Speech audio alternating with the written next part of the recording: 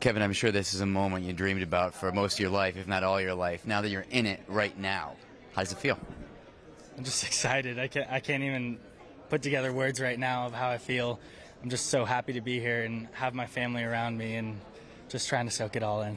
You're a local boy, you're from Pasadena, you have a lot of family here. That must, I'd imagine, having the draft here in LA make it extra special. And you had a big crowd cheering for you. That must have been nice.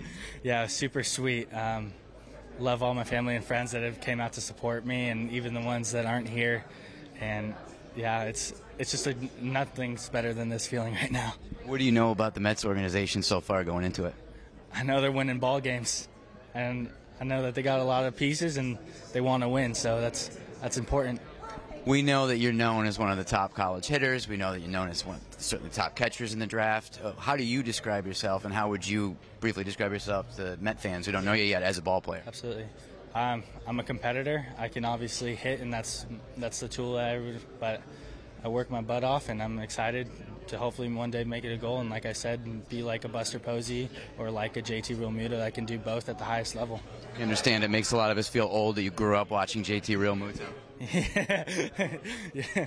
You, are known for an unorthodox uh, batting stance. Where did that come from, and how did you develop that? Yeah, it just came out of comfort. Honestly, I was just one day I was in the cage and felt good, and good things are happening. So if it ain't broke, don't fix it. When did you start uh, standing like that? Uh, it was it started freshman year, but then uh, over the next year or so, it started to become more and more unorthodox and into what it is now.